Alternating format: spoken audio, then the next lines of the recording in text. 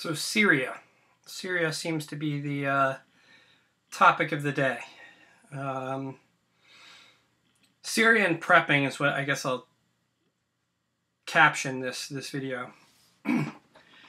now, most of you who have been on board on this channel for a while, uh, what I would affectionately call the Mojo diehards, will understand that the main reason for my prepping mostly was for from an external force around the lines of terrorism.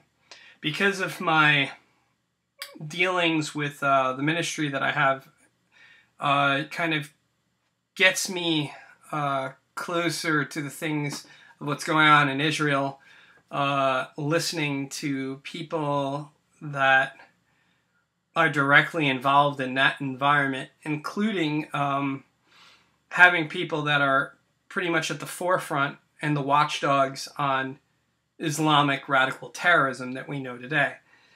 And as I was uh, going into the ministry, and I'd get exposed, and I did research, and I used to be like a major watchdog when it came to of the Middle East where I would be paying attention to every little thing and I would know who's like in charge of Hezbollah, I'd know him by name, I would know.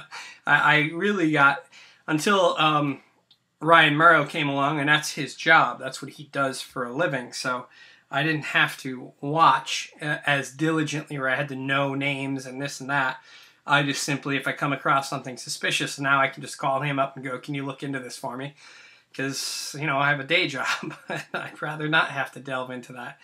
It's kind of a dark world that I'd rather not. But that being said, you should definitely keep your eye on the Middle East. Uh, the, the, if there is going to be something that's going to cause a world war or cause a situation that is going to spiral this, what we know, and as we know it today, the society as we know it, what's going to spin it out of control is coming out of the Middle East. There, there's no ifs, ands, buts about it uh, whether you, you have a biblical understanding of it or you're just you don't believe in anything religious and a secular point of view you will notice that everything is winding up over there. Everything is getting more and more involved uh, becoming more and more contentious more and more um, abstract as far as where it's going to go.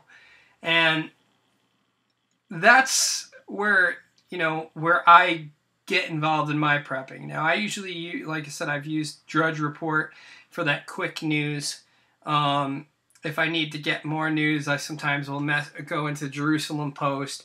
And then if I need, you know, also another version of the news, I usually go into um, like a European type, uh, like a uh, BBC. Sometimes I'll use and you try to get an idea of what's going on. Now, when you see smoke rising, which is what the Syria thing is, and to me, it's just another uh, example of uh, our government getting involved in something to keep our eyes off of the real problems at hand, uh, to keep us from looking at the economy, to keep us, you know, occupied other than looking at, you know, the leadership and the needing of the change of that leadership.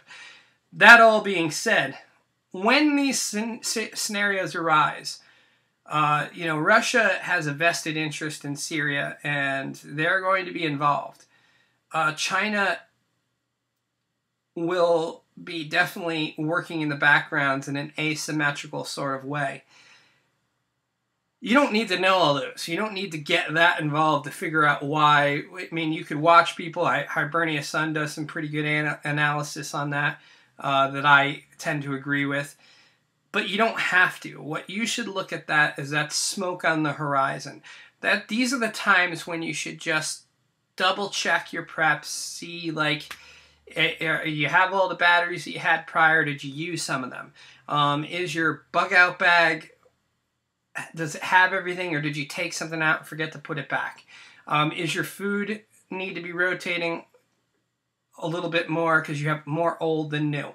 Um, all these things should be immediately when you start seeing something of that effect, something that's happening like Syria, or there's that hurricane that's brewing, uh, uh, you know, down the coast that might move up in your direction. Um, now, granted, life happens.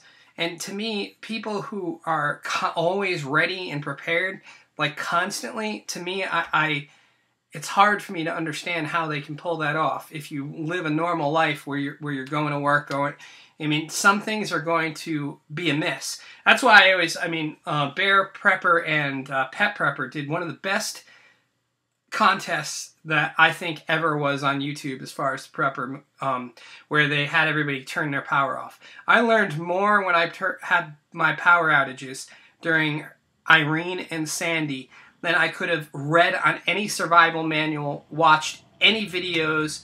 I could have watched a million Wilderness Outfitters and a million other shows, and I would never have learned the bulk of what I learned in the, those eight days and in the 14 days I had no power. And that's when you're going to really see. You're going to see, you, you'll get slight glimpses of the psychological impact. Because survival is all in here.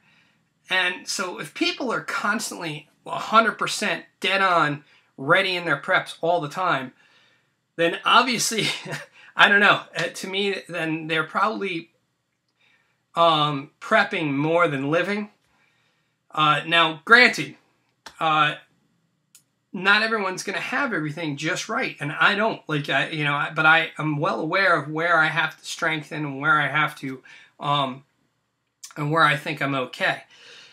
But what I'm getting at is when you see things like Syria, when you see you can't get all up in arms and get scared of what you just you know you should have the bulk or base basic needs met food water and shelter shelter encompasses that you have stuff to heat the shelter, that you have ways to keep warm, you have ways to, uh, you know, to live within that environment. So shelter is kind of a multifaceted thing. It's not just your house.